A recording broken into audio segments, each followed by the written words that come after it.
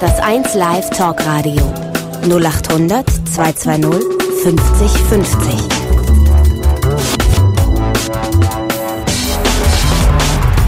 Domian im WDR Fernsehen und in 1 Live. 0800 220 50 50. So, liebe Leute, Freitagnacht, wir sind zur Stelle. Schön, dass ihr auch da seid. Willkommen bei Domian, willkommen beim 1 Live Talk Radio. Wie immer Freitag ganz offene, ganz freie Themensendung, wenn ihr gerne mit mir sprechen wollt. Egal über was, dann meldet euch 0800 220 50 50, unsere kostenfreie Nummer. Oder mailt domian.wdr.de und wenn ihr mailt, bitte kurz umschreiben, um was es geht und eure Telefonnummer in die Mail auch mit reinsetzen. Der erste Anrufer heute Nacht, das ist der René und René ist 27. Guten Morgen, René. Ja, hallo. Hallo. Hallo. Mein Lieber, was geht's? Ja, ähm, bei mir geht es ja um meine Freundin und da geht es wahrscheinlich um Asexualität. Mhm. Ja, erstmal liebe Grüße und ich bin auch ein Fan von dir und sehe dich auch sehr oft. Sehr nett von dir, vielen Dank. Ja, ich finde die Sendung auf jeden Fall super. Dankeschön, vielen Dank. Ähm, wie lange seid ihr zusammen? Wir sind jetzt über ein Jahr zusammen. Ein Jahr? Und Ja. asexuell, was heißt das? Läuft gar nichts bei euch? Es läuft gar nichts. Also ich war der erste Partner von ihr, sie ist 23 Ja, und also sie hat zuvor schon mal einen Freund gehabt, aber das war keine so feste Beziehung. ja. Also es stand zwar auch davor, aber wie gesagt, bei uns war es halt das erste Mal. Aber ihr hattet schon mal Sex miteinander. Ja, nicht oft, aber Wie viel Mal in dem einen Jahr kannst du, wahrscheinlich kannst du es dann rekonstruieren? mehr als zehnmal werden es gewesen sein. Mehr als zehn Mal. Genau. Mhm. Ist natürlich auf ein Jahr bezogen, wenn man frisch verliebt ist, äh, sehr wenig. Es ist sehr wenig, ja. Wie waren denn, wie waren denn diese zehn Mal? Waren die mehr schlecht als recht? Am Anfang, sage ich mal, hat man noch große Hoffnung gehabt, dass sich das bessert auf jeden Fall. Es ging schon ziemlich schwierig los, aber am Anfang, naja, Ja. wenn man der erste Partner ist, dann kann es ja sein, dass halt Schwierigkeiten auftauchen. Ja, okay, kann man verstehen. Genau, aber dann mit der Zeit hat sich es auf jeden Fall nicht gebessert. Hast du den Eindruck, dass sie keinen Spaß daran hat? Absolut nicht. Also sie wird auch nicht dementsprechend, ja, feucht, sie ist auf kein, sie ist Mhm. kein bisschen angeregt und Ja, sie macht's nur für dich. mehr oder weniger ja. Sie hat es bis jetzt, sage ich mal, in dem Fall versucht, aber beim letzten Mal war es halt so schlimm, dass wir abbrechen mussten währenddessen. Weil du so gemerkt hast, dass sie überhaupt keine Lust hat. Und ja, das also ist irgendwie. gemerkt von den Schmerzen her, das ist ja bei ihr auf jeden Fall auch der Fall, Ach so. dass sie große Schmerzen dabei empfindet. Ach so, ach so. Hm. Und sie war halt, keine Ahnung, danach musste sie ja trösten, weil das war einfach für sie dann beim letzten Mal einfach total zu viel. Verstehe. Äh, redet ihr ganz offen darüber? Ja, Ja. Hat, ich habe auch schon mal das Thema angesprochen und ich habe auch mal im Forum was drüber geschrieben. Das habe ich ja im Endeffekt dann auch mal bei, ähm, ja, mehr oder weniger, ja. ja, Ja, und, und und, wie äußert sie sich? Wie, wie erklärt sie sich selbst, dass das so ist?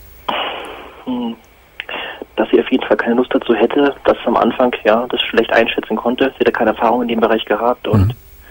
Ja, okay. Aber was hat sie eine Idee, woher die, die Blockade kommt oder die große Schwierigkeit? keine Idee, nein. Sie sagt einfach, sie braucht es nicht und sie könnte auch ohne leben. Mhm. Hat sie keinerlei sexu sexuelle Sehnsüchte? Nein, also nicht, Das, dass ich wüsste. das heißt, sie, sie befriedigt sich selbst auch nicht. Mm, Darauf habe ich es auch schon mal angesprochen. Das hat sie mal zwei, dreimal gemacht, aus Neugier wahrscheinlich. Also sie redet zwar auch nicht so gern drüber, aber Mhm. das hat sie auf jeden Fall gemacht und das mehr oder weniger aus Neugier. Und hat sie dabei ein, einen Orgasmus bekommen? Weißt du das? Hast du gefragt? Ja, aber wenn es sowas wie ein Orgasmus war, also sie konnte es nicht genau beschreiben. Ja. Aber offensichtlich scheint es ihr nicht so sehr gefallen zu haben, weil sie die, die Aktivitäten wieder eingestellt hat. Ja. Ich frage mich, ob ich glaube, es ein psychisches Problem ist, weil das ist wirklich weitreichend. Selbst, also sie mag es zum Beispiel überhaupt nicht, wenn ich sie anfasse. Es ist wirklich schwierig, also mit der Hand, sage ich mal, selbst wenn es zu dem Akt kommt, Mhm. es ist wirklich schwierig, dann Vorgespiel überhaupt zu gestalten, weil jedes Mal, wenn ich sie anfasse an bestimmten Stellen einfach, dann will sie das auf, unter keinen Umständen. Also Ja. Wie, wie ist es denn sonst so mit der Zärtlichkeit? M- lä- Lässt sie das geschehen, wenn du sie irgendwo am Körper streichelst? Ja, also körperliche Nähe ist auf jeden Fall gegeben, insofern wir noch Kleidung anhaben, Ach so. weil es halt darum geht, dass man sich entkleidet und alles, was um Nacktheit geht, ist schon wirklich ein schwieriges Thema. Also, wenn ihr beispielsweise beide nackt im Bett liegt, ohne jetzt an Sexualität erstmal zu denken und einfach nur so kuschelt, das geht, das geht auch nicht. Haut an Haut. schwierig, sage ich mal. Also mittlerweile geht es, am Anfang war es halt wirklich ganz schlimm. Es hat sich gebessert, aber Mhm. Küsst? auf jeden Fall für sie nicht so angenehm. Küsst ihr euch? Ja, auf jeden Fall, klar. So mit allem drum und dran. Ja. Mhm. Nicht nur Küsschen auf die Wange, sondern auch ein Zungenkuss. Mhm. Das geht. Und da hast du, hast du, Ja, Zungenkuss auch nur bedingt mag. Also das kann ich jetzt schwer einschätzen, wie es halt ist. ja, deswegen frage ich, ob, ob sie sich darauf so einlässt oder ob das auch nur so, naja, dass sie so Also sie mitmacht. lässt sich auf jeden Fall ein darauf und ich ja. auch gern in der mhm. Regel. Sie hatte vorher, äh, du sagst, so, so ein bisschen, eine bisschen Beziehung, eine kleine Beziehung, oder kaum was vorher. Genau, darüber haben wir auch viel geredet, weil, keine Ahnung, das war auf jeden Fall scheinbar eineinhalb Monate, aber... Und davor war überhaupt gar nichts? Äh, davor war überhaupt gar nichts, mhm. genau. Mhm. Das ist natürlich für dich, finde ich, äh, eine schwierige, eine äußerst schwierige Situation. Ich weiß auf jeden Fall nicht so recht, wie ich damit umgehen ja, soll. Ja, das, das verstehe ich. Sie hatte wirklich auch Probleme mit ihrem eigenen Körper. Also, mhm. Also kommt damit, sie findet ihn auf jeden Fall nicht mhm. besonders gut und zeigt sich halt nicht gern. Und ich habe viel mit ihr, ihr über ihre Kindheit Da ging es auch um ins, ähm, ja, bei Baden zum Beispiel, sie zeigt sich halt wirklich sehr gerne, also nicht sehr gerne nackt. Nicht sehr gerne nackt. Mhm. Ja. Ja, da kann man natürlich jetzt sehr wild spekulieren. Ich glaube auch, dass dann, dass da ein fundamentales Problem sicherlich vorliegt. Ja. Ich glaube, wenn halt die ganzen Schwierigkeiten nicht gegeben wäre, könnte man wirklich sagen, dass es reine Asexualität ist, einfach, dass da kein Drang ist, aber solange sie eben nicht mit ihrem eigenen Körper da mhm. mhm. jetzt kann man das schlecht jetzt sagen, mhm. ob es jetzt daran liegt oder oder was überhaupt Asexualität bedeutet, das ist halt auch ein schwieriges Thema. Hast, ja, hast du mal, ich meine, das ist natürlich immer sehr schwierig und das muss man auch vorsichtig machen, hast du mal so in die Richtung irgendwie ansatzweise gefragt, ob vielleicht früher in der Kindheit mal etwas sehr Schlimmes passiert ist in Sachen Sexualität? Habe ich oft nachgefragt, weil so wie sie sich verhalten hat, dachte ich wirklich anfangs, sie würde fast vergewaltigt worden sein oder hm. sonstiges. Ich habe da wirklich oft nachgefragt, aber da war halt nichts. Weil am Anfang war es wirklich schwierig. Soweit sie das weiß, Alles, ne? Was das Thema näher ging. Hm. Ist denn, wie, wie, ist denn äh, der, das Elternhaus von ihr? Sind das auch eher Leute, die sehr zurückhaltend sind in, in Sachen Körperlichkeit? Weißt du das? Ich denke ja, auf jeden Fall. Das mhm. hat mich auch sehr verwundert dort. Also das Schlafzimmer, sage ich mal, bleibt immer offen dort stehen. Also ich kann mir nicht vorstellen, dass er besonders körperlich ja. Äh, ja Immerhin ist deine Freundin entstanden. Ja, ja. genau. Sie hat auch einen Bruder. Äh, gibt es äh, oder sind sehr strenge morale, religiöse Gründe vielleicht der Grund? Nein, auf keinen Fall. Auch nicht. Es ist ein sehr mhm. offenes Elternhaus, kann man sagen. Ah, ja. mhm. Die Eltern sind eigentlich auch sehr nett, der Vater vielleicht ein bisschen dominant, sage ich mal, aber ansonsten. Aber für Sie ist ja offensichtlich doch wohl klar, dass das, dass das wiederum für dich ein sehr großes Problem ist. Ja, das auf jeden Fall. Und, und dass man so eigentlich keine Beziehung auf Dauer führen kann in den jungen Jahren. Ja, auch wenn man älter ist, nicht. Ja, das heißt, irgendwie muss ja, also die, die, die Problematik hat sie sich vor Augen geführt. Mhm. Jetzt, jetzt heißt es ja, jetzt muss irgendetwas passieren. Mhm. Ich finde es bloß ein bisschen schade, dass sie da einfach so wenig tut, weil das kommt immer von meiner Seite, sage ich mal, dass ich im Forum was poste, mhm. was eigentlich nicht viel gebracht hat. Also, aber. Was meinst du mit Forum? Äh, ich habe ein Nachtlager, Ach so, mal was gepostet. In unser Fan, ja. in unserem Fanforum, ah ja, genau. verstehe. Aber da hat die Ex-Freundin dann auch umgestöbert, das war dann noch obendrein komplizierter und naja, das mhm. jetzt auch meine jetzige Freundin. Ja, ähm, ich, Stalking, äh, eine andere Geschichte, ja. ich glaube, dass man auf Dauer so keine Liebesbeziehung führen kann, wenn man, wenn man normale Bedürfnisse hat und du hast normale Bedürfnisse. Als 27-jähriger Kerl möchtest du gerne. Normal, ja. ja, so. Und dann, das heißt, dass sie eigentlich etwas tun muss. Mhm, sie, sie müsste sich äh, erstmal medizinisch komplett durch, durchchecken lassen. Aber vermutlich ist es eine, eine sehr tiefe, komplizierte seelische Verknüpfung. Das heißt, sie müsste sich zu einem Therapeuten begeben. Das Problem ist ja, sie war mit 23 Jahren noch nie beim Frauenarzt. Auch noch nicht. Weil sie mhm. sich auch nicht dort traut herzuzeigen. Also das ist keine Chance, egal ob Mann oder Frau, da hat man auch viel drüber geredet. Ja gut, dann wäre das, wär das mal ein Anfang, dass sie sich dazu zwingt, dass sie mhm. zumindest zu einer Frauenärztin geht. Aber ich habe mit ihr schon so oft drüber geredet, also. Ja, aber äh, du musst ja, vielleicht musst du ihr wirklich auch das so dramatisch klar machen, dass eure Beziehung daran hängt. Das weiß sie und das war, das ist eigentlich auch schon so oft der Fall dran gewesen, aber ich weiß nicht. Sie hatte wirklich auch viel Stress durch die Uni wahrscheinlich und keine Ahnung. Wäre sie denn bereit, zumindest mal in eine, zu einer Beratungsstelle zu gehen? Es ist sehr schwierig, weil es eine Fernbeziehung ist und wir sehen uns momentan nur alle zwei Wochen in der Regel. Okay, das ist keine Antwort auf die Frage. Wäre sie bereit, zu einer Beratungsstelle zu gehen? Schwierig. Also ich tendiere eher zu Nein, weil ich will sicher nicht mal eingestehen, dass sie überhaupt ein Problem hat. Für sie ist es einfach Normalität. Ja, aber für dich ist es nicht normal. Und das musst du ihr klar machen. Ja, äh, ist, ist das so machen, aber sobald sie das ja verstehen müsste, müsste sie ja wirklich auch verstehen, dass sie in der Hinsicht einfach ein Problem hat. Ist es so gravierend, dass sie äh, sogar vielleicht bereit wäre, eure Beziehung zu opfern?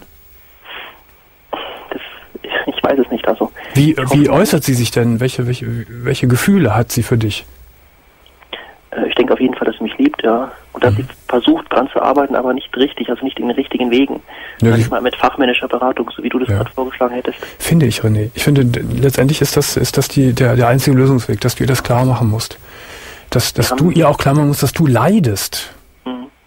Und dass sie, zum, ja. dass sie zumindest mal den ersten Schritt vielleicht in eine Beratungsstelle versucht zu gehen. Mhm. Äh, um auch mal eine objektive Meinung von einem außenstehenden Fachmann zu hören.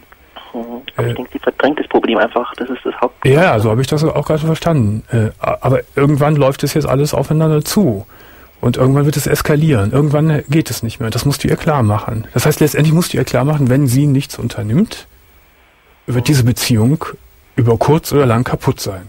Mhm. Und wenn sie das, wenn sie dich wirklich liebt und ihr sehr an der Beziehung gelegen ist, dann müsste sie dieses Problem angehen, was sie ja auch für sich dann löst, obwohl sie es ja gar nicht als Problem für sich sieht. Schon, ja. Aber ich finde, es ist schon ein Problem. Also wenn, wenn jemand schon äh, sich schämt, zu einer Frauenärztin zu gehen, das, das ist schon eine Sache, die man lösen muss, finde ich. Ja, das sind viele psychische Probleme, wo man, wobei man ja, genau. darauf vieles zurückzuführen könnte, aber es ist halt wirklich sie dazu zu bewegen, sage ich mal. Ja, also ich halt gut fände, irgendwie man eine Telefonnummer hätte, wo sie bei irgendeinem Fachmann erstmal anrufen könnte, zum Beispiel. Die werden wir dir jetzt geben. Jetzt werden wir dir, also du unterhältst dich jetzt noch mit Magdalena, meiner Psychologin. Ja, das wäre die größte Hilfe auf jeden Fall. Und die kann dir noch eine ganze Menge Sachen an die Hand geben und dann musst du sie vielleicht auch in gewisser Weise unter Druck setzen und, zumindest muss es ihr klar machen, dass es so nicht weitergeht. Mhm, mh. René, jetzt legst du auf und Magdalena ruft dich an. Ich bedanke mich. Alles Liebe, alles, alles Gute. Ja, danke. Toi, toi, toi für euch beide. Tschüss. Danke, ciao. 0800 220 50 50, unsere Telefonnummer, die auch die Isabel gewählt hat. Ja, genau. Ja. Hallo Domian. Isabel ist 22. Ganz genau. Isabel. Und ich wollte mich mit ihr über Männer unterhalten. Über Männer? Ganz genau, über meinen Ex-Freund zum Beispiel. Zum Beispiel Ex-Freund? Ja, der hat vor 14 Tagen Schluss gemacht per SMS. Wie? Vor 17? Vor, nein, vor 14 Tagen. Vor 14 Tagen? Genau. Schluss gemacht per SMS. Das, das liebe ich ja. ja immer, dieses Schluss machen per SMS. Sieben Jahre Beziehung. Nach sieben Jahren? Ja. Macht der Kerl per SMS Schluss? Ja. Das ist ja unfassbar. Es ist nicht nur unfassbar, sondern ich hatte einen Tag vorher auch noch ganz regulären Beischlaf mit ihm. Ganz regulären Beischlaf? Ja, also was man beziehungsmäßig halt, wenn man sich wirklich liebt, auch macht. Ne? Also es war guter Sex, den ihr hattet? Ganz genau. Es war kein regulärer Beischlaf, sondern guter Sex. Ganz genau. Der trotz der sieben Jahre Beziehung immer noch gut war? Ja, natürlich. Ja. ja, wir haben alles gemacht, wir haben uns ausgelebt und er war halt häufig bei mir. Wir haben getrennte Wohnungen. Mhm. Und ähm, ja, das Problem, denke ich mir, ist, äh, dass er mit seinem Leben nicht klargekommen ist. Wie alt ist er? 33 jetzt. Also wir haben uns, er war 26, ich war knappe 16, habe ihn damals kennengelernt. Aber du bist jetzt 27? Ah, nee, 22. 22. Ah, 22. Ja, stimmt. Ja, ja. Das sind elf Jahre Unterschied. Ja. Ähm, was hat er denn in die SMS reingeschrieben? Warum? Na, er hat in die SMS reingeschrieben, dass unsere Beziehung am Ende wäre und er hätte jetzt das gefunden, was er schon immer gesucht hat. Oh, eine andere Frau. Habe ich auch gedacht, ja natürlich. Und ich habe ja natürlich erstmal, das war morgens um halb vier, da habe ich geschlafen. Ich habe es halt dann erst früh gelesen, mhm. was er mir geschrieben hat. Und Hör mal, ich konnte mir wenn, das gar nicht vorstellen. Äh, Entschuldigung, das weiter erzählst. Mhm. Du hast vorher das Gefühl gehabt, das ist alles normal. Ja, natürlich. Moment, und dann wachst du morgens auf und guckst auf, in dein, ja. auf dein Handy und dann ja. liest du so eine Mail, das ja. musste dich doch umge umgeschossen haben, das Ganze. Also das Erste, was ich gemacht habe, ich habe meine beste Freundin angerufen und ich bin erstmal zusammengebrochen. Und weil ich habe das nicht verstanden. Für mich ist ja. die Welt zusammengebrochen. Er wollte Kinder mit mir, alles. Aber erzähl noch weiter, was, was in der SMS drin stand. Also er ja, hätte jetzt das gefunden. Wirklich, ihr drinne, unsere Beziehung wäre am Ende und er hätte das gefunden, was er schon immer gesucht hat. Ich muss dazu sagen, er kommt aus der Gastronomie hm. und hat es natürlich dann dementsprechend trinkt auch gerne mal ein, ne? also ja. nicht übermäßig, aber eben so, ja. sag ich mal, in seiner Art und Weise. Okay. Und hat eben dann auch noch eine ähm, Feier gehabt was stand ja noch in der was stand ja noch in der SMS drin? Ich habe das gefunden, was ich gefunden habe und was stand noch? Was ich gesucht habe, was ich schon immer gesucht habe und ich habe nie verstanden, was er Und das war's dann in der SMS? Ja, genau. Ne? Und tschüss. Und tschüss. Und nächsten Tag hat er mich halt versucht, dann gleich zweimal anzurufen, hat mir halt SMS geschrieben, von wegen, wir möchten doch bitte den Schlüssel tauschen und es soll doch nicht so enden und wir können doch Freunde bleiben. Hm. Nach weißt, sieben Jahren. Weißt du denn heute, was der Grund ist? Also ich war dann bei ihm, habe natürlich meine Sachen abgeholt. Wir wollten uns ja was zusammen aufbauen. Ich mhm. hatte schon einiges besorgt für die Wohnung, was wir jetzt machen wollten. Aber es waren noch getrennte Wohnungen, ne? Es waren noch getrennte mhm. Wohnungen, ganz mhm. genau. Das war für ihn auch immer, sag ich mal, ganz praktisch. Ne? Man konnte ja nach Hause mal fahren und vom Dienst und da es ist Okay. Also, was glaubst du heute, was ist der Grund? Ich persönlich, ich denke mal, er hat mir dann erklärt, er hätte seine große Liebe schon vor 18 Jahren an der Bushaltestelle verloren, die damals gegangen wäre, einfach von heute auf morgen. Vor, ich acht, denke vor 18 Jahren? Hm, Wie vor 18 ich, Jahren? Da war er ja 12. Nee, vor 18 Jahren. Wenn er jetzt 30 ist, dann war er 12. Der ist 33. Na gut. Ach so, naja, ja, okay. Also in der mhm. Lehrzeit sozusagen. Ja. Ne, hat er mir dann so erklären wollen. Ja. Und ich denke mal, er hat mir gesagt, er würde mich schon seit zweieinhalb Jahren halt nicht mehr lieben und so weiter und so fort. Und ich habe das einfach nie geglaubt. Und ich denke mir auch heute vom, vom Sinn her, was ich jetzt mir so die letzten 14 Tage auch mal durch den Kopf gehen lassen habe, dass er einfach mit seinem Leben nicht klargekommen ist. Und das auch nie wird. Ich habe auch zu ihm gesagt, was suchst du denn dann genau? Hm. Ja, Moment mein, mal, ist denn jetzt dann nun eine neue Frau? Oder ist nein, ich habe jetzt mich auch nochmal bei ihm gemeldet und habe halt gesagt, ich du hab noch was, ich habe noch was gesucht von mir und habe halt gefragt, ob er das noch bei sich hat. Hm. Und dadurch habe ich ihn halt gefragt, ich wusste ja nicht, ob ich dich störe, habe ich zu ihm gesagt, ob du eine neue Freundin hast, das kann ich ja noch nicht einschätzen. Hm. Und er hat gesagt, nein, und da wäre nichts und so weiter und so fort.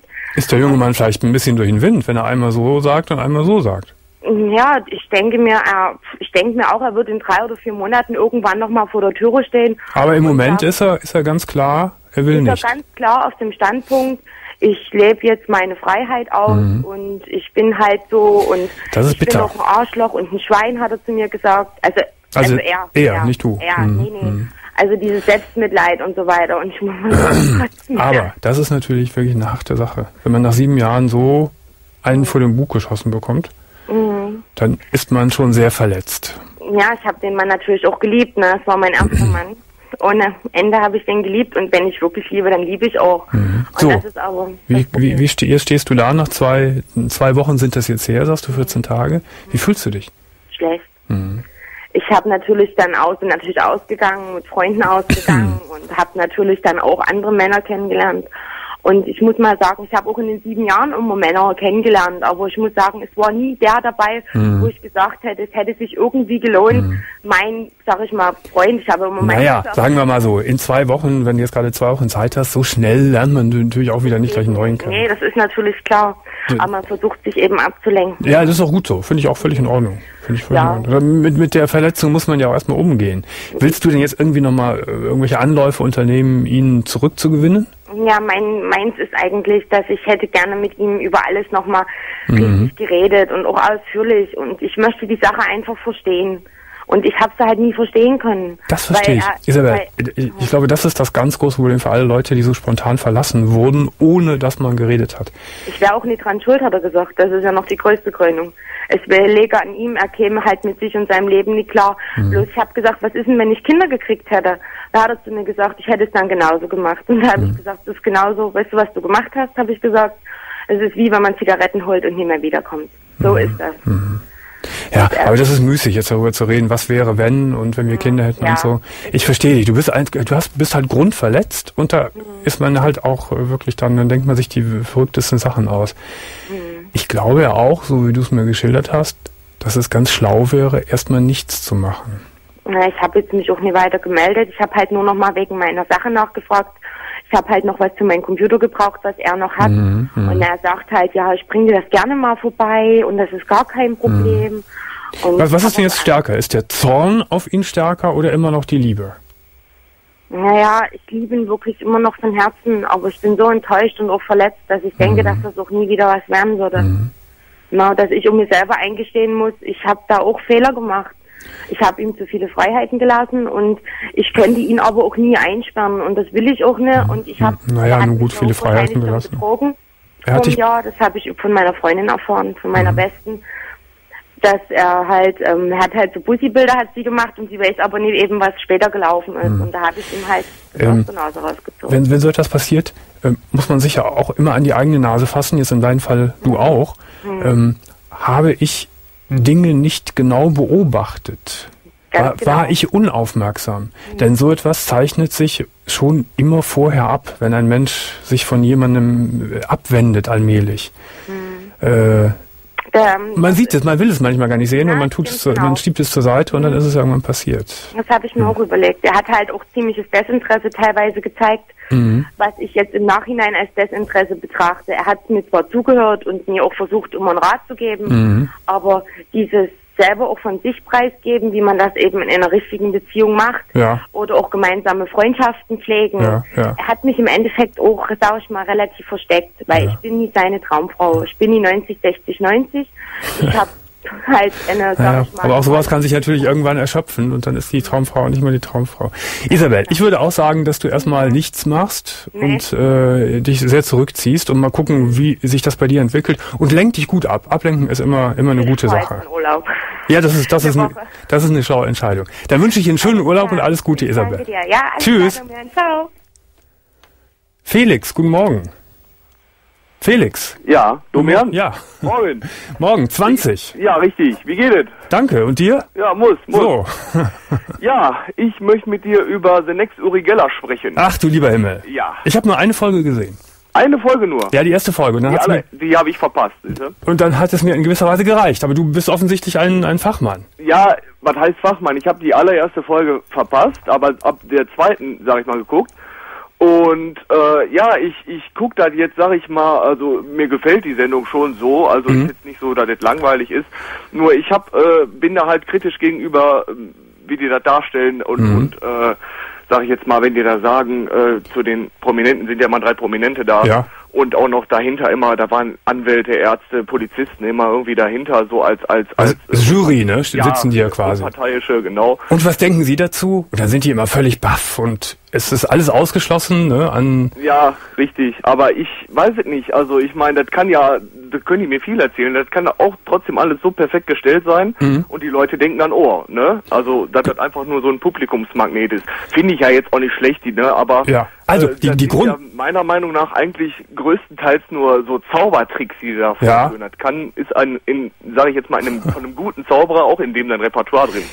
finde ich Ja. interessant, dass du das auch so siehst. Nämlich genauso habe ich es auch gesehen. Ich fand, das waren teilweise super Tricks, die die vorgeführt haben. Ja. Ich fühlte mich dann nur verarscht, wenn die mir da mit ihrem Mentalistenkram ankommen, als sei das irgendeine übernatürliche Kraft, Ja. die sie dazu bef befähigt. Ja, und Da- da, das da halte ich auch für Un. Unsinn. Ja. Und, und ja gut, ich jetzt selber bin da so gar nicht für. Ich meine, die können mich ja verblüffen, so Ver Verblüffungstricks, ne? Es gibt ganz tolle Tricks, wo man natürlich davor steht und denkt, boah, Wahnsinn, ne? Ja, richtig. Ja, und meine Mutter, die geht da voll drauf ab, ne?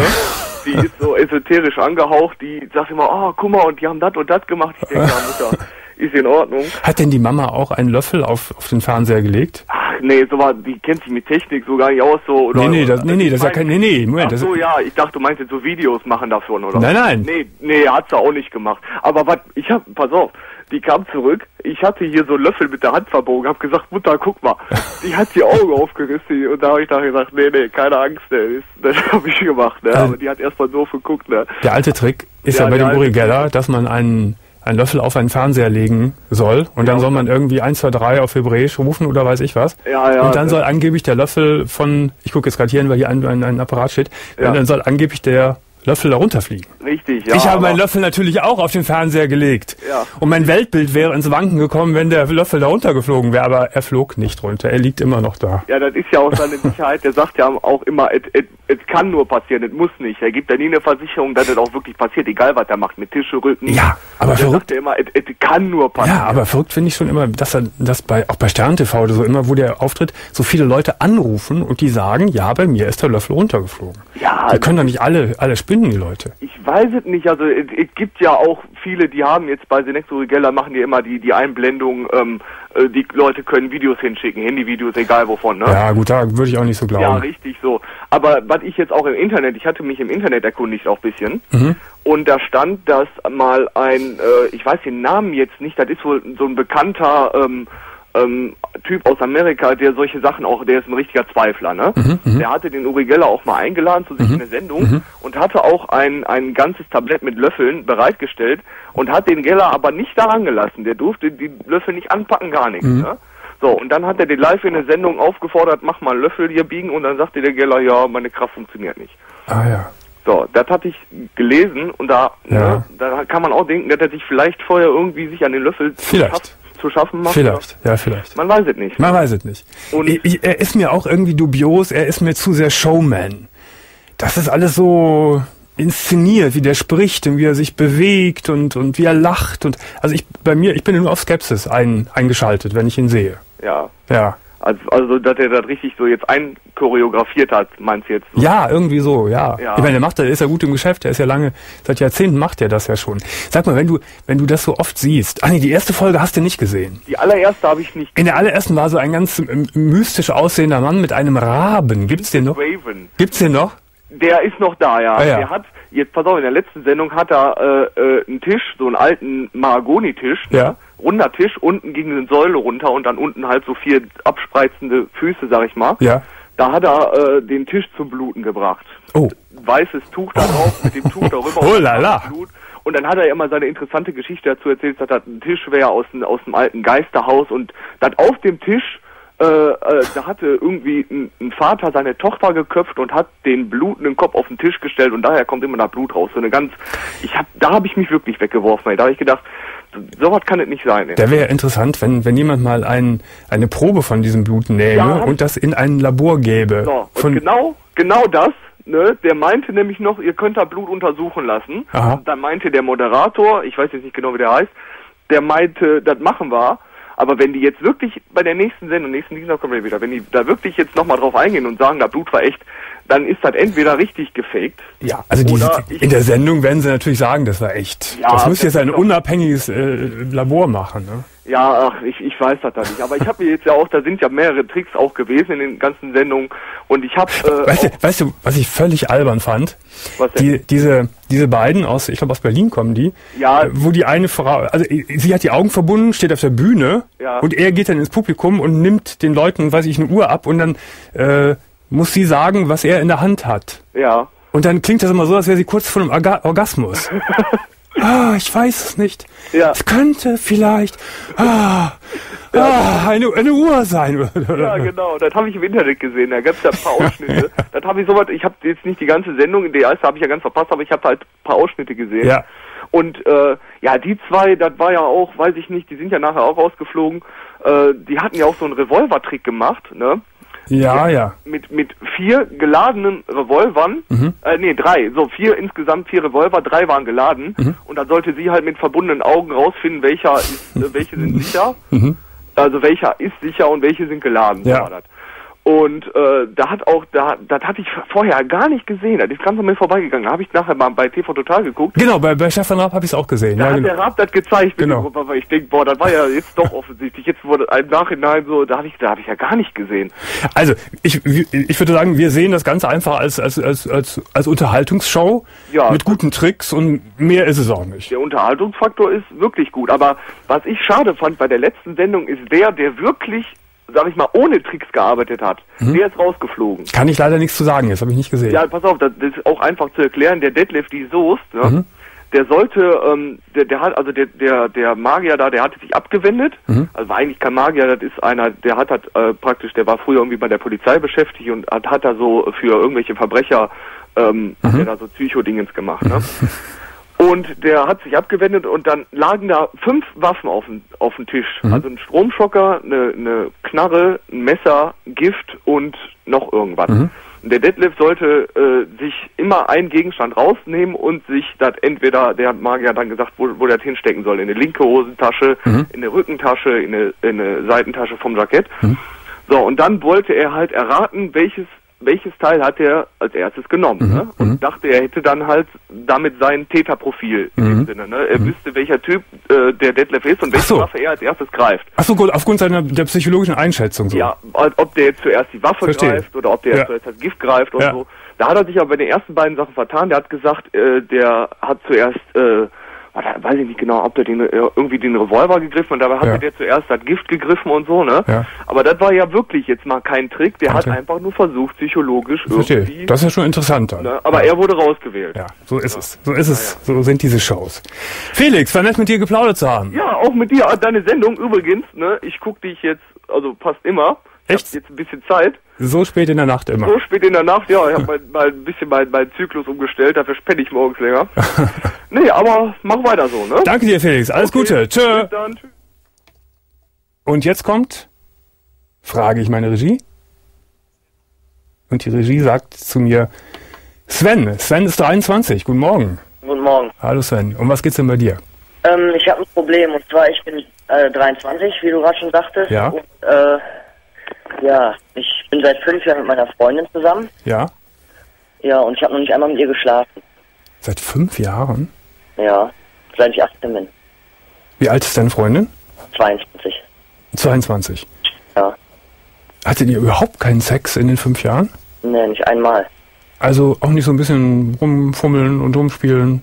Ja, mehr oder weniger. Also es war mal so ein bisschen so, so ein, aber es war dann, ich habe dann eher so den Rückzieher gemacht. Also so pettingmäßig lief auch nichts. Nee, eher nicht. Das heißt, äh, du hast in Anwesenheit deiner Freundin noch keinen Orgasmus gehabt. Nee. Also wir sind beide noch Jungfrau. Ja. Wie kommt denn das? Ja, ich habe irgendwie so Angst davor, dass ich irgendwie was falsch mache oder Aber ich meine, fünf Jahre ist ja nur eine unfassbar lange Zeit. Das, wir reden ja nicht von fünf Monaten. ja. Ja, also wir führen auf jeden Fall eine offene Beziehung. Was heißt das? Ja, so, dass wir eigentlich so, ja, wie soll ich das beschreiben? Na, offen heißt, dass man, dass man fremdgehen Nee, kann. ja, wir reden eigentlich über alles, aber wenn wir auf das Thema zu sprechen kommen, dann bin ich eher derjenige, der dann den Rückzieher macht. Aber um, um, um keine Missverständnisse aufkommen zu lassen, du hast auch nichts mit anderen Frauen, oder doch? Nee, nee, das auf jeden Fall nicht. Sie mit, sie auch nicht mit anderen Männern. Nee, auch nicht. Also Nee. soweit ich weiß, aber da bin ich mir hundertprozentig eigentlich sicher. Hast du denn nicht das Bedürfnis nach Sex? Doch, das schon. Also ich habe das Bedürfnis auf jeden Fall, aber das, ich habe auf jeden Fall Angst davor, so dass ich irgendwie was falsch mache oder Was könnte, das Bedürfnis habe ich oft. hast du denn, aber du befriedigst dich selbst schon, ja. Ja, Ja. ja ist ja nichts Schlimmes. Du sagst das so, so zurückgenommen. ja, Das ist doch okay. Macht sie das auch? weiß ich nicht. Frag sie doch mal. In meiner Gegenwart nicht. Nee, das ist mir schon klar, äh, wie du es gerade geschildert hast. Aber frag sie doch mal, ob sie das macht, wenn sie alleine ist. Ja, aber dann kommen wir wieder auf das Thema zu sprechen und da weiß ich nicht, wie ich da wieder reagieren soll. Vor was hast du denn Angst genau?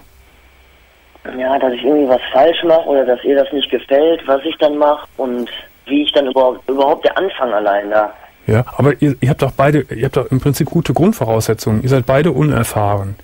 Das heißt, da kann man sich doch äh, zusammen rantasten, ganz vorsichtig und kann so ein bisschen immer so ein bisschen ausprobieren, was einem gefällt und was einen was einen anmacht. Du hast doch deine Gedanken auch sicherlich, was dich so interessiert sexuell. Ja, Guckst du Pornos? ja, Weiß sie das? nein. Also sie hat einmal einen gesehen, aber ich habe dann gesagt, er gehörte meinem Freund oder Ja. so. Also da hast du so eine richtige Parallelwelt, ne? Ja, In der du dich da so auslebst und das mit deiner Freundin nicht machen kannst. Ja. Und wir sind jetzt seit einem halben Jahr verlobt, wollen im Sommer heiraten. Ihr wollt auch heiraten? Ja, Warum? ja, weil wir uns einfach lieben. Wir haben auch eine Wohnung zusammen seit zweieinhalb Jahren. Mhm. Wir wohnen also zusammen, ja. Und ich habe es bis jetzt immer so auf die Hochzeit verschoben, dass ich äh, erst nach der Hochzeit möchte. Also Sven, ich will dir mal ganz spontan sagen, solange diese Sache nicht geregelt ist oder klar ist oder gelöst ist, würde ich von einer Heirat aber dringend abraten. Hab nicht die Illusion, dass durch eine Heirat dieses Problem für euch gelöst wird. Hundertprozentig nicht. Es scheint irgendetwas ganz Kompliziertes zu sein, wenn ihr beide so sehr gehemmt seid, äh, was ihr gar nicht alleine schafft, da rauszukommen. Das schafft ihr nur mit, einer Sexu mit einem guten Sexualberater und Sexualtherapeuten. Und wo kann man sich so eine Beratung einholen? Wo man das kann, Ja, ja, das werden wir dir gleich gerne, gerne sagen. Wärst du denn bereit, sowas zu machen, nach Ja, außen zu gehen? ja, ich auf jeden Fall schon, aber ich weiß ja nicht, ob dann meine Freundin dafür bereit ist. Mhm. Dazu bereit ist. Aber wie hältst du das denn überhaupt aus, Mensch? Du hast eine feste Freundin seit fünf Jahren und hast mit der keinen Sex. Ja, ist schwer auszuhalten. Das hat sich jetzt schon so richtig ein, einge, eingeschliffen, dieses, du, du hast ja deine Onanie-Welten, sie vielleicht gar nichts und ihr lebt so wie Bruder und Schwester zusammen. Ja. Ja, ich meine, so ist das natürlich auch schön. Wir machen sehr viel zusammen und so, Mhm. verbringen eine Menge Zeit. Aber halt, das ist halt das Einzige, was fehlt. Ne? Also im Prinzip wie gute Freunde, so richtig. ja, Äh, Geht ihr denn zärtlich miteinander um? ja, auf jeden Fall. Also, Wir hatten ja gerade am Anfang schon mal so einen, auch so einen ähnlichen Fall. Äh, wie weit geht es denn erotisch bei euch? Streicheln und Küssen, funktioniert das? Ja, Streicheln, Küssen funktioniert, aber sobald es so bei mir im Genitalbereich geht, dann mache ich eher den Rückzieher und sage, ich bin müde oder... Warum? Zum Beispiel jetzt konkret an diesem Beispiel, wenn sie von sich aus sogar dir in diesen Bereich hinein fasst oder dich streicheln will, dann machst du den Rückzieher. Warum? Ja, ich, also ich komme... Wie soll ich das beschreiben, Domian? Das ist... Schämst du dich? Ja. Warum? Ja. Hat sie dich schon mal nackt gesehen? Nein. In Was? fünf Jahren hat sie mich nicht einmal nackt gesehen. Hast du sie schon mal nackt gesehen? Ja. Warum schämst du dich, wenn sie dich nackt sehen würde? Ja, keine Ahnung. Denk mal nach. Das hat ja einen Grund. Ja. Vielleicht können sich den einige Männer denken, den Grund. Also ich habe nicht gerade das größte Glied. Ach so. Wie groß ist es denn? Im irrigierten Zustand? Im Irrigierten so 13 bis 14. Naja. Naja, das ist doch noch okay. Da lass dich mal nicht verführen von dem, was du in den Pornos siehst, mit diesen, mit diesen großen Ausführungen. 13, 14 ist schon, ist, das ist noch, das ist schon noch okay. Da musst du dich nicht schämen. Wirklich nicht. Stimmt das, 13, 14? Ja. So normal geformt? Ja. So eigentlich ganz normal, aber also ich weiß nicht, mir ist es irgendwie zu klein und ich weiß ja nicht, wie dann bei ihr rüberkommt. Na, also sie hat ja, weißt du, wenn sie jetzt schon 50, mit 50 Männern geschlafen hätte, aber sie hat ja eben auch noch gar keine Erfahrung. Das heißt, ihr, ihr, ja, ihr geht zusammen auf dieses Neuland und dann wird sie nicht zurückschrecken, nur weil äh, dein Penis nun nicht gerade so groß ist, sondern eher so im unteren Normbereich liegt. Aber noch immer im, Normbe äh, noch immer im Normbereich. Also wenn das wirklich der einzige, einzige Grund ist, weswegen du da dann zurückschreckst, da geh doch mal, brich doch mal einfach deine eigene Schamschwelle und Hose runter und los geht's.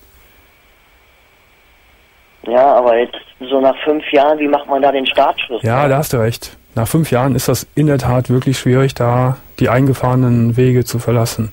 Wie kam es denn, dass du sie schon mal nackt gesehen hast? Ja, äh, also wir haben Toilette und Badezimmer in einem Mhm. und auf jeden Fall, ich musste auf Toilette und wusste aber nicht, dass sie gerade baden ist. Mhm. Ja, dann bin ich reingegangen und sie schließt äh, nicht ab. Mhm. Ja, und dann habe ich sie halt nackt gesehen. Dann habe ich gesagt, oh, Entschuldigung, hat sie gesagt, wie, komm da ruhig rein. Und dann bin ich reingegangen. Also hört sich das schon so an, als wäre sie die, diejenige, die schon ein bisschen fordernder oder sie macht die Offerten. Ja, auf jeden Fall. Also sie ist auch total offen und so. Sie läuft auch manchmal, also sie, wenn sie morgens, wenn sie morgens aufsteht oder so, dann zieht sie sich auch vor mir um. Ich bin dann zwar noch am Schlafen oder so, oder sie denkt, ich bin am Schlafen, zieht sich dann vor mir um, ja, und Findest du sie denn sexuell attraktiv? ja, auf jeden Fall. Ja, also sie hat schon einen schönen Körper und der macht dich auch an. Ja, Kann das sein, dass das Hauptproblem bei dir liegt und nicht bei ihr? Ja, auf jeden Fall. Also das Problem liegt auf jeden Fall bei mir. Na, weil du gerade sagtest, du wärst nicht sicher, ob sie mit zu einer solchen Beratungsstelle gehen würde. Ja, vielleicht, weil sie äh, so in der Öffentlichkeit ist sie nicht offen über das, aber unter Mhm. uns ist sie offen. Könntest du ja vielleicht auch alleine erstmal gehen zu einem Berater. Ohne ihr das zu sagen oder? Nö, ihr, ihr das durchaus zu sagen. Nein, nein, keine Geheimnisse, keine Geheimniskrämerei. Also wenn, wenn du jetzt sogar den Eindruck auch hast, dass, dass eher, dass du der Bremser bist, dann wäre der Weg ja auch okay, dass du vielleicht da erstmal so ein bisschen äh, das aufarbeiten kannst mit einem Fachmann. Mhm.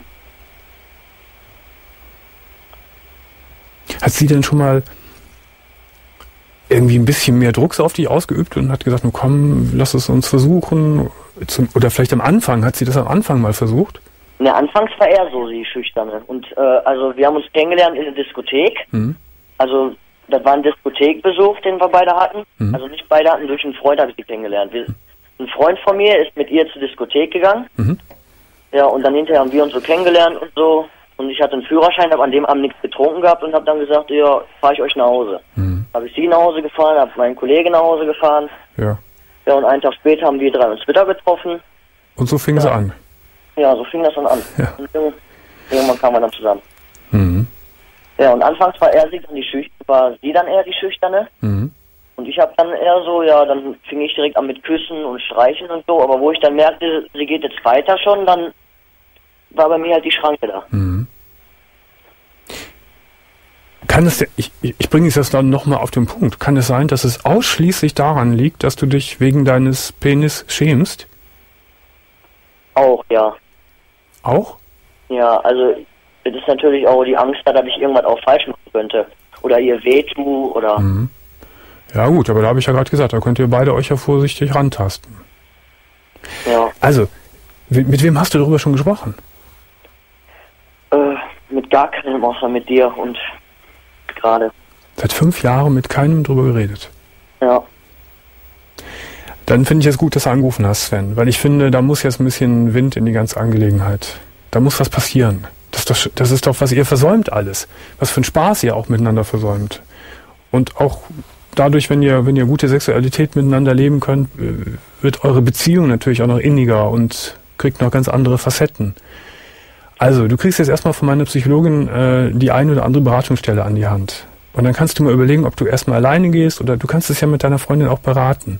Mach einfach mal jetzt so, so eine Zäsur. Sag zu ihr, es muss jetzt was passieren. Du kannst zu ihr ja auch sagen, dass du den Eindruck hast, dass es hauptsächlich an dir liegt.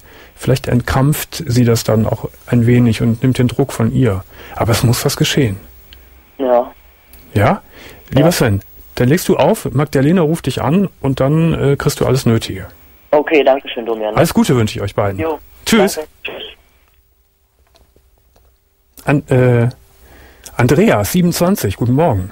Ja, schönen guten Morgen, Domian. Schönen guten Morgen, Andreas. Um was geht's? Ja, mein, ja, bei mir geht es darum, also folgendes, ich habe einen Fußfetisch für mich selbst entdeckt und zwar geht es darum, dass ich die Nägel bei mir selbst lackiere. ich habe das das akustisch jetzt nicht verstanden. Du hast einen, Fu- einen Fußfetisch. Genau. Ein Fußfetisch entdeckt. Ah. An dir genau, selbst. und das Ding ist, ich lackiere auch bei mir selbst die Nägel, von Rot bis zu French und alles mögliche, aber das läuft bisher alles ziemlich geheimnisvoll ab. So. so, das weiß also keiner, dass du dir selbst die Nägel lackierst. Genau. Genau. Und das heißt, du gehst nie mal so ins Schwimmbad oder. nee, also, wir, also ich und meine Freundin, wir leben das beide eigentlich so aus. Ach so, die Freundin, äh, es gibt eine Freundin Ja, genau. und die weiß Bescheid. Ja, das machen wir gegenseitig. Ist, ist, das, ein- ist das ein Fetisch, dass du deine eigenen Füße geil findest? Im, Im lackierten Zustand muss ich sagen, doch schon, ja. Doch schon. Also weniger die Füße deiner Freundin als deine eigenen. Ähm, doch, die machen mich genauso an, muss ich schon sagen. Ach. Aber zudem mache ich das halt auch bei mir selber draus. Mhm. Als kleinen Bonus. Ja. ja, und bisher halt, ja, wir haben schon bis zum Schwimmbad bin ich schon gekommen. Mhm. Aber ähm, da drin halt sah schlecht aus. Da habe ich Entferner mit gehabt und das doch nochmal schnell entfernt. Ach so, weil du dich geschämt hast. Genau, weil der Mut da irgendwie doch fehlt. Weil der Mut dir fehlt. Genau. Wie lange, seit wann machst du das jetzt schon? Also richtig regelmäßig, dass ich das trage, so seit zwei Jahren. Mhm. Und ähm, ja, angefangen hat er schon, so sag ich mal, mit 15 oder so, wo ich zum ersten Mal den Nagellack für mich entdeckt habe. Aber du lackierst nur die Fußnägel, nicht, die- nicht die, die Fingernägel. Nein, nur die Fußnägel. Und wir sagen nochmal, du bist heterosexuell. Ja, genau. Ne? Das ist hat, äh, mittlerweile gibt es ja so viele Facetten, dass das nicht unbedingt immer eine schwule Attitüde ist, sowas. Auf, auf keinen Fall. Ne, ich habe das auch schon mal in Zeitschriften gelesen, dass da auch einige Stars das schon mal drauf hatten und all sowas. Und ja, Das könnte, das ist ja sowas, was man eine Weile mal so Metrosexualität genannt hat. ja, Ne? Das ist so eine, so eine Misch, Mischsexualität irgendwie. ja. Wie oft lackierst du dir deine Fußnägel? Also eigentlich immer bis es so lange wie es hält. Ne? Ja. Und ähm, ja, danach muss es neu gemacht werden, halt schon einmal die Woche, sage ich mal. Und die Lieblingsfarbe ist Ähm, Das variiert echt. Also ich habe gern diesen French-Look. French? Was, was ist das genau? Was ist das mit diesen weißen Spitzen? Ach so, ja. Mhm. Ja, und das geht halt echt bis zu lila, schwarz, rot. Ja, Also im alle Moment, wenn, wenn du nach unten guckst, sofern du keine Strümpfe anhast, wie sieht's unten aus im Moment? Im Moment sind sie schwarz, also ziemlich im Hochglanz, sage ich mal. Ah ja. Ist auch immer ziemlich aufwendig, ne? Das dauert also sicher eine ganze Weile, wenn man das ordentlich macht. Ich habe keine Ja, da Ahnung. muss ich echt abends schon mal so zwei, drei Stunden. Ehrlich, so lange? Ehrlich? Ja, also bis das richtig trocken ist und kannst es wieder neu machen. Und die Freundin findet das okay und auch nicht irgendwie sexuell abtörnend für sie, dass ihr das so feminin ist oder so. Nö, eigentlich nicht. Nö. Bisher haben wir da keine Probleme. Dann sitzt ihr beiden Süßen da abends schon mal und lackiert euch beide eure, Fuß, eure Fußnägel. Genau, Das kann schon mal passieren. genau. Äh, pflegst du deine Füße so auch dann irgendwie besonders, dass du also ständig mit, mit Schrubber und Bürste und Raspel und... Also ist jetzt nicht im übertriebenen Sinne, aber ich sag mal, so gepflegt gesund sehen sie schon aus. Ne? Also ich war schon mal bei der Fußpflege und all sowas. Und so. das mache ich dann schon. aber da auch Aber mit... dann ohne Nagel. Ich gerade sagen, ohne Nagellack. Ist, glaube ich, für einen jüngeren Mann eher ungewöhnlich zur Fußpflege zu gehen. Ne? Das machen eher, eher ältere Leute, ne? glaube ich. Ich, ich, ich weiß es nicht. Da, sag ich mal, hatte die Dame in dem Salon eigentlich keine Probleme mit. Wohl, Ja. was ich gerne gehabt hätte, wäre so eine Nagelmodellage, aber da fehlt halt auch der Mut zu. Ne? Ach so, du, hätt, du hättest dir das gerne von ihr so richtig schön machen lassen. Nähe gemacht und so. vor allen Dingen auch halt, dass es nicht abgeht mehr und ähm, ja, dementsprechend im Schwimmbad kann man es auch nicht mehr machen. Ne? Aber ich glaube, dass die Leute, die sowas machen, mittlerweile wahrscheinlich so viel kennen, die hätte dich auch bedient und das wäre nicht peinlich gewesen. Hm, Das könnte gut, so- das könnte durchaus sein. Aber im Schwimmbad ist es natürlich was anderes. Da Genau, bist du allem, natürlich da mit, sind ja ziemlich helle Fliesen meistens und da fällt erst direkt von 100 Meter Entfernung schon auf. da fällt das total auf. Und da sind vielleicht auch der, die eine oder anderen etwas jüngeren Leute oder noch jüngere Leute, die dann ihre Sprüche loslassen. Genau, Damit müsstest du dann, denke ich mal zumindest. dann Ne? müsstest du damit leben, ja. Äh, die Füße von deiner Freundin, das ist für dich durchaus auch so ein Sexualkick, wenn du dich mit denen beschäftigt, beschäftigst. Ja, das sage ich schon, auch ein Fußfetisch mir. Ja. Und, ähm, also ich stehe da halt unheimlich drauf, vor allen Dingen auf lackierte Nägel. Mhm. Ja. Das ist ja wirklich toll, das da, Ding ist halt, ich würde es gerne im Sommer halt offen tragen und vor allen Dingen auch bei der Familie. Und aber wie, ne? ja. Wo wohnst du? In der, in der Stadt oder auf dem Land? Ich wohne eigentlich mehr ländlich. Im ländlichen. Das ist natürlich wahrscheinlich, vielleicht dann noch schwieriger. Also nicht unheimlich so ländlich, aber Also ich glaube, dass man, dass ein, Kerl mit lackierten Fußnägeln es sicherlich in Berlin leichter hat oder in Köln als in Friesland. Zum Beispiel. Oder im Schwarzwald oder weiß ich, wo, oder im Allgäu. ja, Äh, ne? ja, ich meine, da musst du sehen. Wahrscheinlich wirst du viele blöde Kommentare hören und äh, seltsame Blicke wahrnehmen Ja. von den Leuten. Aber wenn dir das so wichtig ist, dir das denn so wichtig, das so nach, nach draußen zu zeigen? Ja, ich sag mal, es ist schon nach der ganzen Zeit blöd, ähm, halt immer nur für sich selber zu Ja, machen. klar. Ja, sicher. Ne? Ja. Und, äh, ja, da hat man ja nicht viel von, sage ich mal, wenn man sich die Nägel verschönert und kein anderer sieht. So, dann sagen wir doch ganz einfach mal, erklären wir das Jahr 2008 zu deinem Fußlackierjahr. Für, die Öffentlichkeit auch. Und dass der Sommer 2008 dein öffentlicher Fußlackiersommer wird. Ja, das könnte man eigentlich mal gerne Das sagen. könnte man doch gerne, könnte man doch gerne mal machen. Ja, wie gesagt, wobei halt immer dieser Komplex da ist, ne? Ja, ja, klar, natürlich. Sicher. Aber da musst du dich einfach entscheiden. Will- Willst du das auf dich nehmen, die Nerverei, äh, oder, oder, oder halt nicht? Das ist halt dann eine Entscheidung. Also für mich steht eigentlich fest, doch eigentlich schon, ne? Würden dich, Also wenn, mache ich schon viel zu lange. Wenn du andere lackierte Fußnägel von einem Mann sehen würdest, würde dich das auch interessieren? Ich glaube nicht, nee. Nee, das, das ist alles ganz Also- klar geordnet bei dir. Da habe ich bisher ähm, keine Erfahrung mit gemacht. Ich war mal zwar auf so einer Internetseite, Ja, da gibt es auch einige Männer, die das so ausstellen. ja, Und ähm, nee, aber da bin ich auch schnell wieder weg gewesen. ja. Okay, naja, es war, war nur eine Frage. Also Andreas, kauf dir schönen Nagellack und dann äh, freuen wir uns Was zusammen. würdest du empfehlen? So eher direkt in die Vollen gehen mit knalligen Farben oder eher was Schlichteres? Ja, das ist eine lustige Frage jetzt. Ja, also wenn schon, dann auch volle Kanne. Na gut. Ja, nicht irgendwie so dezent, ein bisschen grau oder so. Rosé. Nee. Nein, Also ich zack. habe eigentlich jetzt vor, jetzt in nächster Zeit mir das mal machen zu lassen. Ja. Schick uns doch mal ein Foto. Ja. Ja, schick uns mal ein Foto, würde mich wirklich interessieren. Mail uns mal ein, ein schickes Foto von deinen toll lackierten Füßen. Ja, kann ich mal gerne machen. Ja, könnte ich dann vielleicht den Zuschauern auch hier im Fernsehen zeigen und den Zuhörern würde ich es beschreiben. Ja, also, also ehrlich gesagt, ich hatte damals auch mal auf dieser Internetseite bei mir zwei, drei, vier Bilder auch hochgeladen. Mhm. Ja, und da könnte man sich eigentlich auch angucken. Ja, na, wir gucken mal. Also, ich würde dich ermutigen, es zu tun, wenn du mutig genug bist, äh, dir die skeptischen Blicke dann auch äh, reinzuziehen. Genau. Alles Gute, dir und deiner Freundin. Ja, schönen Dank und dir einen schönen Abend noch. Dankeschön, tschüss Andreas. Nico, 29, guten Morgen. Hallo. So, Nico, erste Bitte. Den Ton vom Fernseher oder Radio ganz runterdrehen. Habe ich gemacht. Gut. So, jetzt können wir beide reden. Um was geht's bei dir? Ähm, es geht darum, dass halt, also erstmal muss ich sagen, dass du halt eine ganz, eine ganz tolle Sendung hast. Dankeschön. Aber ich würde mir halt dann trotzdem wünschen, halt, dass du die Leute bei brisanten Themen halt ausreden lassen würdest.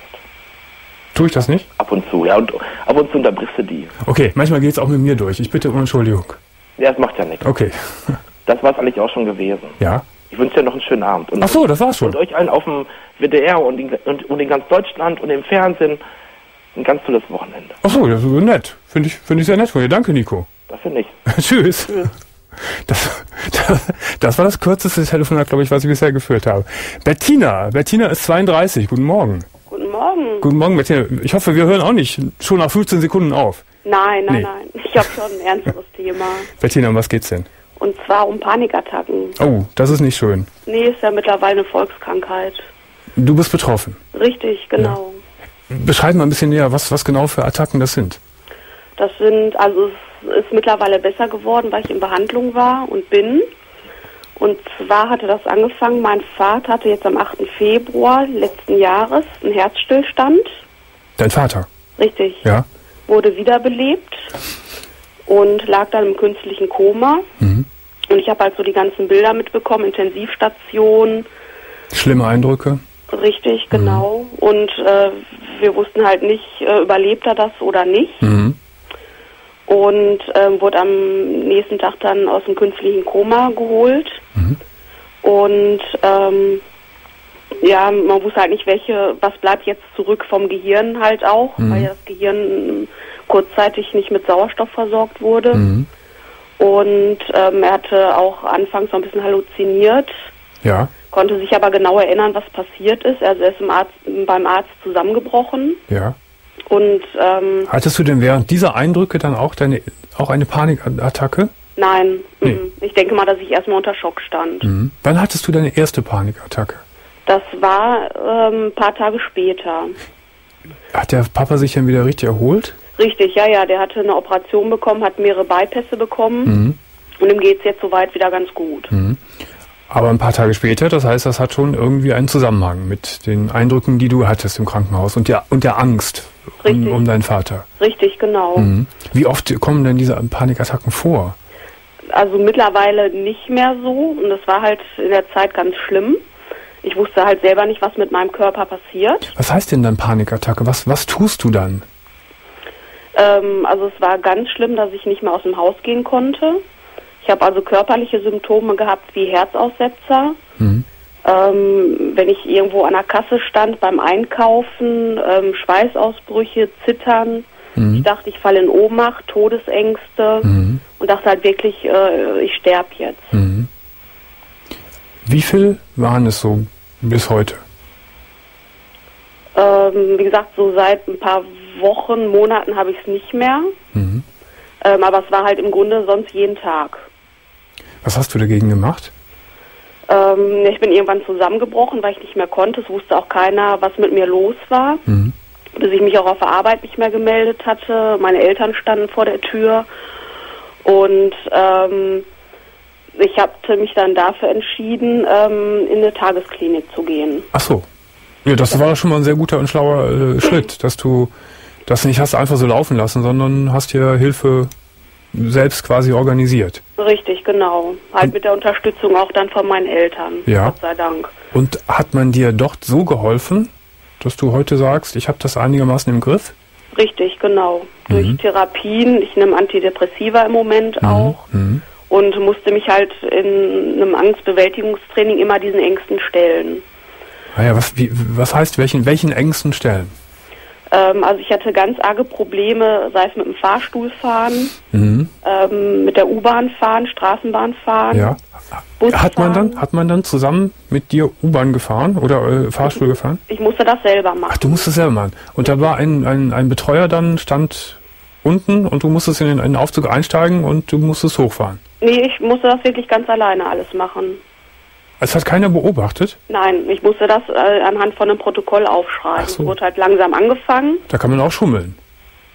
Ja, aber das habe ich nicht gemacht. Hast du nicht mal. Du bist dann tapfer zum Aufzug gegangen und hast äh, das getan und bist reingestiegen in die Kabine, Richtig. obwohl dir das Herz flatterte.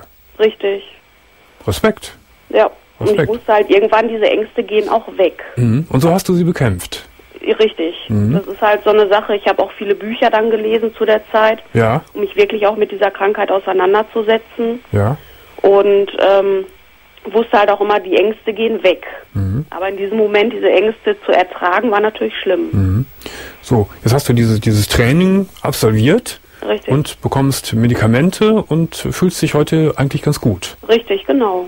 Also wäre dein Tipp auf jeden Fall, wenn man so etwas hat, was ja viele Leute machen, die das dann verschleppen und die da Richtig. vielleicht Jahre und Jahre unter leiden, Angst auch haben, äh, irgendwie zum Arzt zu gehen, geht zum Arzt und lasst euch wirklich ordentlich behandeln und man kann, man kann dieses, diesen Druck und dieses Leid dann loswerden. Richtig, ja, nicht ganz loswerden, aber zumindest damit umgehen. Ja, ja. Gut, dann verstehe ich deinen Anruf einfach so als, als Service-Anruf auch, um das einfach mal so zu erzählen in der Öffentlichkeit. Richtig, genau, einfach Mut zu machen, Ja. wirklich das nicht, wie du schon sagtest, Jahre zu verschleppen. Ja. Bei mir hat es ja nicht lange gedauert, sondern sich wirklich Hilfe zu suchen. Mhm. Weil ich hatte keine Lebensqualität mehr, ich bin nicht mehr aus dem Haus gegangen. Ja. Und mittlerweile habe ich wieder Lebensfreude, Lebensqualität. Und das ist einfach ein schönes Gefühl. Das finde ich toll, dass sich das bei dir so gut entwickelt hat, Bettina. Und freue mich, dass du angerufen hast und das hier auch dann erzählt hast. Und Ja. hoffe, dass es so bleibt und wünsche dir alles Gute. Alles klar. Tschüss. Danke, tschüss. Und jetzt geht es weiter mit, frage ich meine Regie, mit Marco. Und Marco ist Ja. 35. Guten Morgen, Marco. Ja, hallo Domian. Ja, Marco. Grüß dich. Um was geht's? Schön mal reinzukommen bei euch. Ja, Ich gucke dich öfters. Das freut ja, mich. Eben hatte, hatten wir ja noch den Sven dran. Wollte ich nur ganz kurz was zu sagen. Ich hoffe, er hört noch zu. Das war der junge Mann, der seit fünf Jahren fünf Jahre genau. Keinen Sex genau, mit seiner Freundin, hat. hat zusammen. also, ich habe auch nur so einen kleinen, hätte ich jetzt gesagt. Der ist gar nicht mal so klein. Einen kleinen Meine- Penis. Ja, meine Oma sagt immer, äh, wo er nicht hinkommt, spuckt er hin. Kleiner Scherz am Rande. Das hat die Also Oma gesagt? dabei denken, Sven, ich habe schon reichlich Freundinnen gehabt und das hat immer alles super wunderbar geklappt. Die haben sich nie beschwert irgendwie. Darf ich indiskret fragen, wie groß er ist? Meiner ist 14. Ja, das hat ja Sven gerade auch so gesagt. Ja, ja, richtig. Finde ich auch. Also von daher, ich will ihm auch nur ein bisschen Mut machen, ne? ja. Kopf hoch, das klappt schon. Hast ne? du denn am Man muss An- sich halt eben nur ein bisschen mit der Fantasie auseinandersetzen. Hast du denn, du bist jetzt 35, bist ein bisschen erfahrener schon. Äh, hast du denn am- Anfang auch so etwas Hemmungen gehabt und dich Ja, vor Mädels ja. geschämt? Ich, ich habe erst mit 19 das erste Mal Sex gehabt. Ja. Der Wunsch war natürlich schon eigentlich viel früher, aber ja, gut, ne, wenn man denn duschen geht mit anderen Leuten und so weiter, beim Ja. Sport und so, dann ja, dann denkt man natürlich auch schon, hm, aber das hat alles wunderbar geklappt.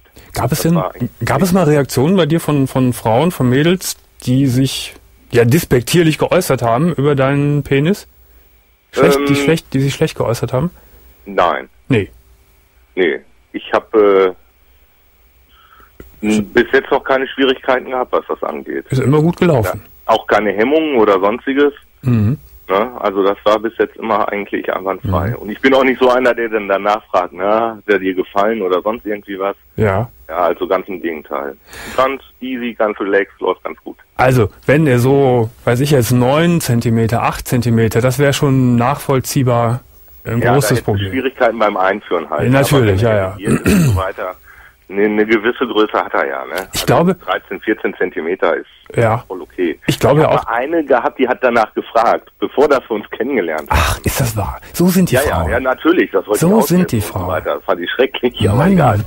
Gut, dann habe ich ihr das gesagt und hat gesagt, hm, ja, dann wollen wir mal gucken, weil sie meinte, sie wäre recht eng gebaut. Ach so, ach so. War sie nicht, war sie nicht, davon mal ab, aber Die hatte ich äh, irgendwo in der Kneipe, in der Bar gefragt, wie groß er ist er? Nee, das, das war in einem Chat gewesen. Ach so, in einem Chat. Ach so, okay. Ausgetauscht und dann, Ja, im Chat ist man dann vielleicht auch ein bisschen indiskreter als so in, in, im realen Leben. Fragt ja, man eher sowas. fragen nach der BH-Größe, Frauen fragen nach der Slipgröße und was weiß ich nicht. Ja, ja, Klar, ja. Ne? Gut, Marco. Also du machst unserem Freund Sven Mut. Junge, ist gar nicht so schlimm. Äh, es kommt darauf Ja, an, ja. was du daraus machst, ne? Genau. Genau. Aber zu meinem eigentlichen Thema sind wir jetzt gar nicht gekommen, ne? Ach, da wollte du hattest auch noch ein eigentliches Thema. Ja, ein anderes eigentlich, weil du auch von einer, Rea äh, von einer Parallelwelt gesprochen hast mit Pornos und so weiter. Marco, ich würde vorschlagen, wir vertagen uns auf nächste Woche, weil die Sendung jetzt gleich vorbei ist und dann unterhalten wir uns ganz einfach weiter, okay? Die in der De äh, Redaktion wissen Bescheid. Die wissen Bescheid. Bis nächste Woche. Tschüss. Okay, tschüss. So, meine Lieben, das war's für heute und für diese Woche von uns. In der, ähm, in der Technik war Matthias Neef.